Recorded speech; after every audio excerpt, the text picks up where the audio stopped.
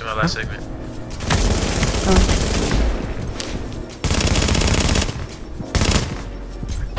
Well, someone got me, man. Me to my last segment.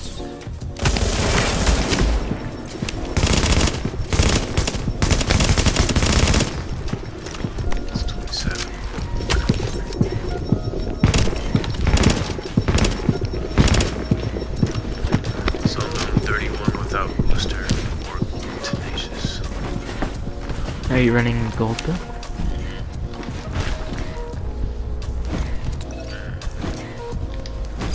Without I had. Ow, ow, I'm the squishy one, not me. Oh, no. okay.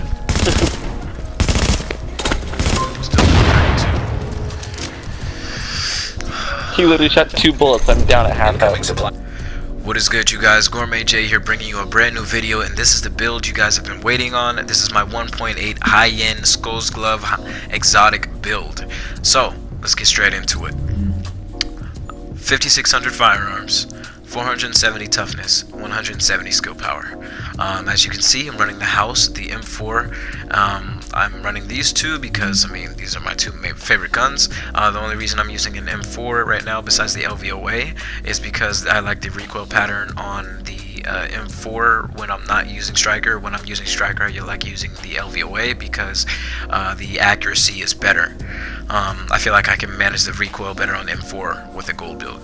Um, so uh, let's get into the actual build. Um, I'm running a Barrett's with stamina, 1961 armor, um, health, skill, pay, skill haste, and ammo capacity with uh, two firearms skill haste mods. Um, on my mask, I'm running refreshed. Excuse me, refreshed with skill power and uh, damage to elites. Um, usually, if I'm fighting a pred mark, I'm actually going. I would actually change it to refreshed. I mean, uh, not refreshed, rehabilitated. Uh, rehabilitated is really, really good when fighting against Predmark. Um, number one, because I mean they're they're putting you on bleed, and the great thing that you, I mean, a good thing about this build is you can add, you know, keep that exotic damage resilience, and you can stack, you can get a bunch of damage resilience. So when I'm, using the Barretts. Um, in the video, I will say, in the video, I was actually using Reckless. My uh, my gold build versus Classified Pred and Classified Nomad, I was using Reckless. So yeah, I had 24% extra damage. Just coming back um, to the gold build, you want to run this version, I would definitely try definitely try out the Barretts because I mean, it you get that that 5% burst damage uh, when you pop one skill, and that's with 5600 firearms. This is this build right here is for toughness and more survivability. If you're running in a group or you feel pretty confident, you know, in your skill, you can boost your firearms up to like 7,000. Uh, 7,000. I would have to change a couple mods around, uh, and then my toughness will be around like 450, about 415, like between 400 and 415. And like I said, when you pop both skills, you give your booster, and then you pop both skills, your damage resilience goes right back up, and then with on the move, you're gonna be in the 500 500 range. So yeah, your your toughness is gonna go right back up, and you still have all that burst damage that you uh, that that output. Here. Show you guys that this build is just an absolute monster. so depending on if they're a pred user or not, I'm gonna guess they're not a pred user.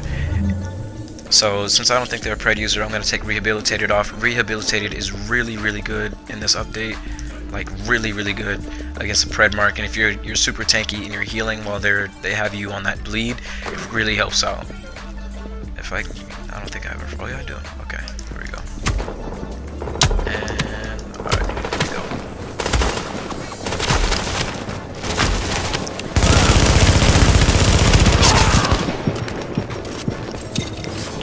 It's a decent heal. Poppable skills.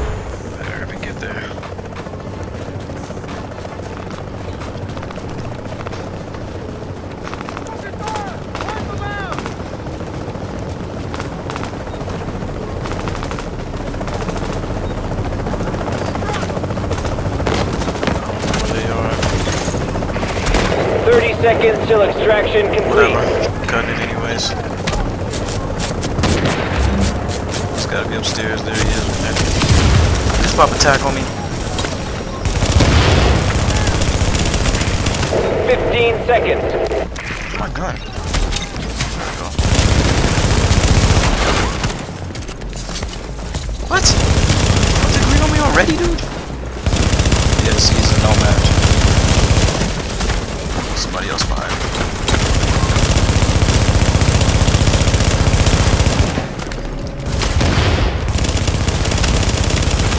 He's a nomad.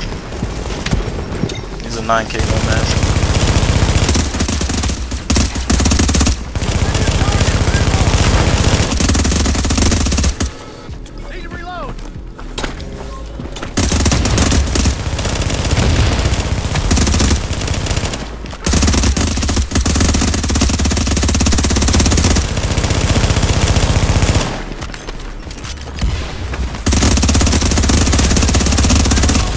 Burst damage for days. So as you can see, you can outplay a nomad. In that case, I would rather have tenacious so I can do more burst damage, but that refresh still works out. So anyways, getting back to the build, I have SMG damage on these gloves. I'd rather have AR damage so that I can do uh, more burst damage. So usually when I'm running with AR damage, I mean these right here have the uh, the skill haste. But if I'm not, if I don't want to run those, I'll run um, these gloves right here with the electronics for the the better heal. So I can be super tanky with this and not really worry about my heal, and I'll I'll still have. Uh, get my heal back quicker because I have skill haste on here so I'm tankier I have skill haste and I mean I'm, I'm getting my heal back pretty quickly even though it's not gonna be all that great I mean I'm still getting my box back fast because my box is actually my main heal but if I'm running you know the other gloves then my main heal is my booster so either way is, is viable. It's whichever it's however you want to run it. So um, going to the mask when you're fighting a striker or a nomad you want to go with refreshed or, or tenacious uh, with skill power and then um, if you're fighting against a pred you definitely want to go with the rehabilitated. So on my knee pads I have health uh, firearms and armor. Uh, I mean health with the, thir uh, the firearms is 1375 the armor is 1631 damage to elites Disorient resistance increased kill XP so the minor attributes are, are whatever. no longer um, active. on my backpack, I have specialized roll for firearms. I have pretty pretty decent um, armor rolls on here with health and ammo capacity. And then on my holster, I have skill haste and uh, okay rolls as far as the uh, as far as the major stats. So. Um, the thing about this, I'd have to switch out my M4, and I'd have to make sure that competent is in the last slot. Um, let's see. I have one of the, one of these is one of these is comp has competent in the last slot. I have a couple of M4s in my in my bag. Um, so yeah, that's how that hmm. is. So I'll throw these on so you guys don't get confused. This is what I usually run with. Okay. So that's that. It's a booster. There's that. And then I'm gonna show you guys the toughness. 636k toughness. And that's with the electronics. That's with the electronics gloves. If I had stamina, I would have over 700k toughness.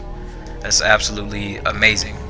So you'd be super tanky if you're face tanking somebody with those skills, and then you have your skill haste, so your skills are coming back faster, and you can just do the same thing over and over again, and you have all this burst damage. So the thing is with the gold build, you guys, it is absolutely versatile and is absolutely amazing. So do not sleep on this build because you can take anything down you can take any build down you guys and uh, so I'll show you guys my uh, my skills I'm running the booster and I'm running the box.